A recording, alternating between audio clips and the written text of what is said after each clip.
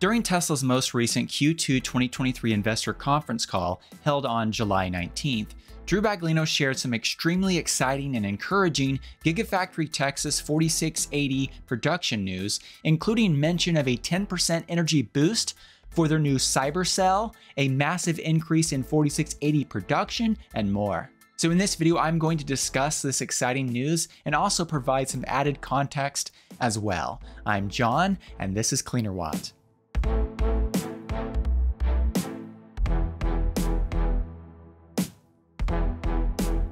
In a previous video, I mentioned how Joe Tegtmeyer has been capturing drone footage of Gigafactory Texas construction over the last several years.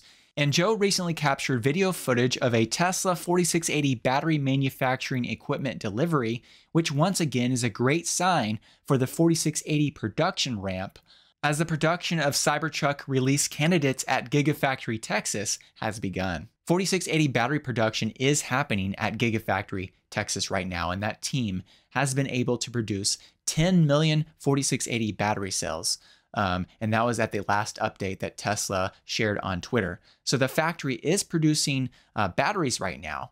Um, but on the topic of increased 4680 battery production, Drew Baglino mentioned the following during the most recent investor conference call. Quote, First, I'll just start with a bit of a production update. So in Texas, 4680 cell production increased 80% Q2 over Q1, and the team surpassed 10 million production cells produced here in Texas. So congrats to the team for that. On the official Tesla Twitter account, this was shared out with this image, this news about the, the team there at Gigafactory Texas producing 10 million battery cells. That's, of course, a huge achievement and really just the beginning of the production ramp because 10 million battery cells, while it is a lot of battery cells, on the grand scheme of things, um, Tesla needs to produce uh, many more millions to be able to hit the kind of production that will hopefully eventually come out of this factory. But it's a great start and a great milestone, and it's really encouraging that Drew would mention an 80% increase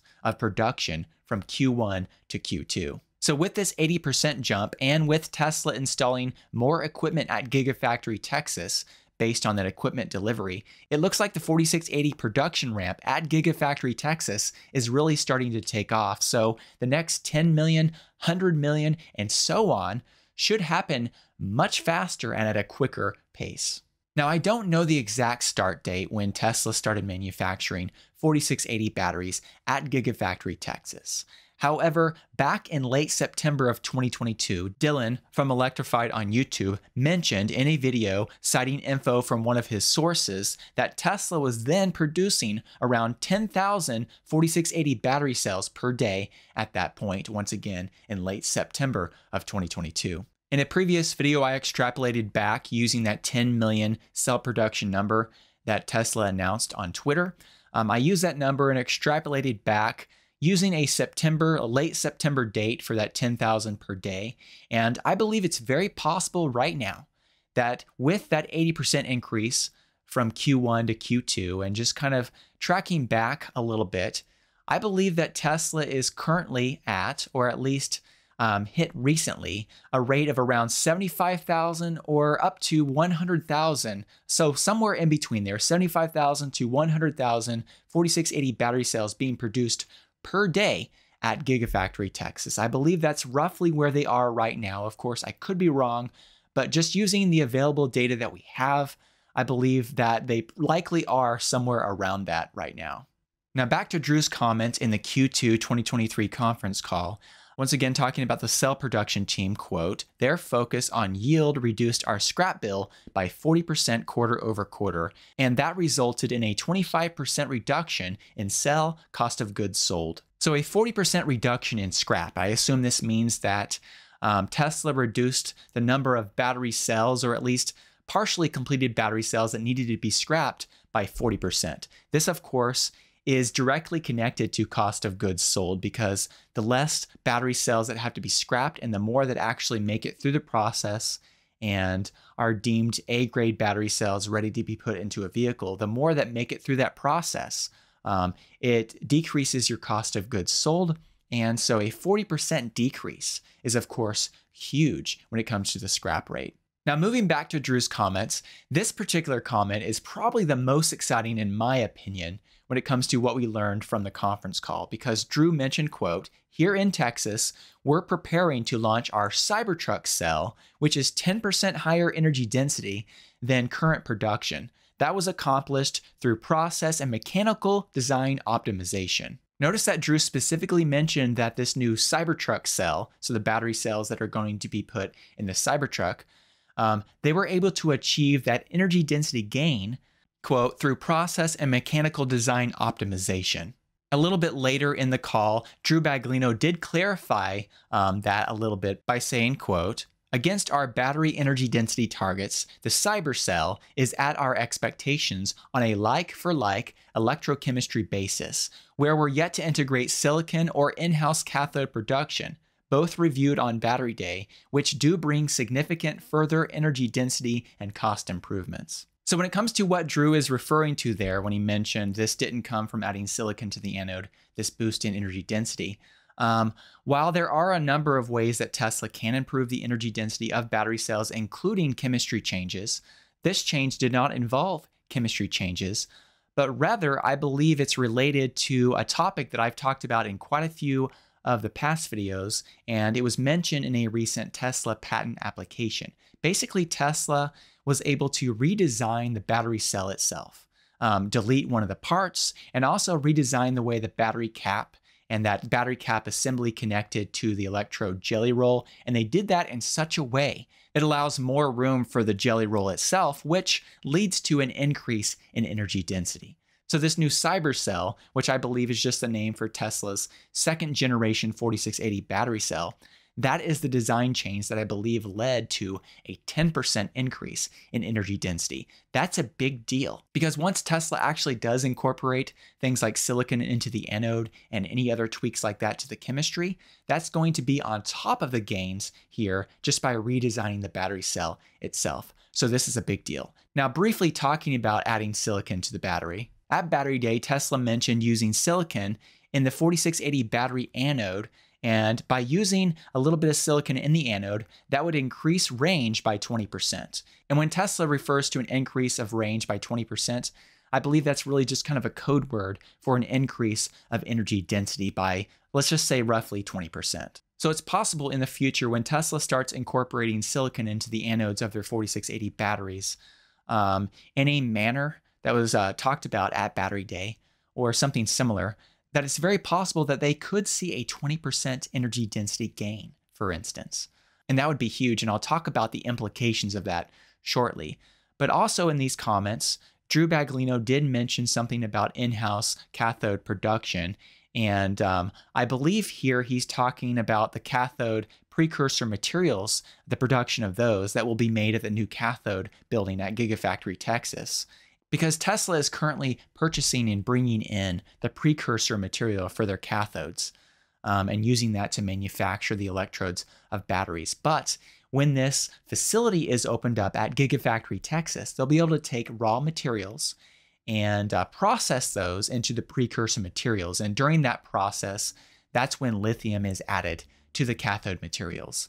Once a cathode materials processing facility is up and running very efficiently at Gigafactory Texas, that should decrease the cost of goods sold for batteries because once again, they'll be taking raw materials and doing the processing in house, and they won't have to pay an outside supplier to do that processing and pay them a markup for doing that process. So, this is going to be important when it comes to cost of goods sold for battery cells. When you couple those advantages with the IRA incentives um, for battery manufacturing, that's also going to be huge when it comes to reducing battery costs in the future. Now, when it comes to the 10% energy boost that Drew Baglino mentioned for the new Cyber Cell, um, if you use a 10% improvement over the previous generation of battery, the Gen 1 4680 battery cell, using data, for instance, that Jordan from the limiting factor on YouTube shared, the Gen 1 4680 Tesla battery cell likely had a cell level energy density somewhere around 244 watt hours per kilogram. So if Tesla's new Cyber Cell has 10% more energy density than that, then it's very likely that the cell level energy density of this new second generation cell is somewhere around 268 watt hours per kilogram. Potentially, if Tesla is able to add silicon to the anode, and achieve a 20% energy density gain by doing that. And of course, it may not be 20% right away. It may be gradual, where they put just a very small amount of silicon in and a little more and a little more uh, with time as they prove that out. But nonetheless, eventually, if Tesla is able to achieve a 20% energy density gain on top of these numbers, that could lead to an energy density at the cell level for a silicon added 4680 battery cell of around 322 watt hours per kilogram.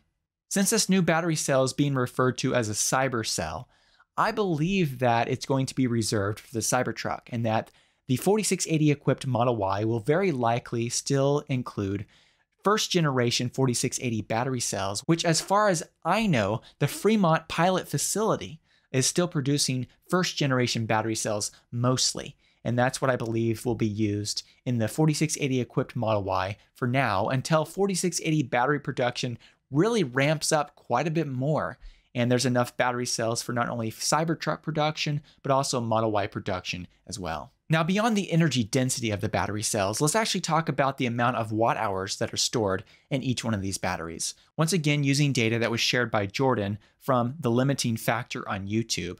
Each Gen 1 4680 battery cell holds approximately 86.5 watt hours of energy.